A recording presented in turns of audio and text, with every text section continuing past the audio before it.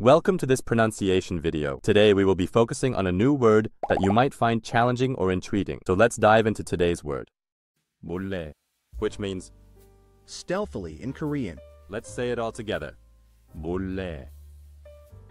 몰래. 몰래. One more time. 몰래. 몰래. 몰래. Thank you for joining us on this adventure in pronunciation. Remember, language is a journey, not a destination. Keep exploring, experimenting, and expanding your linguistic horizons. We'll see you next time.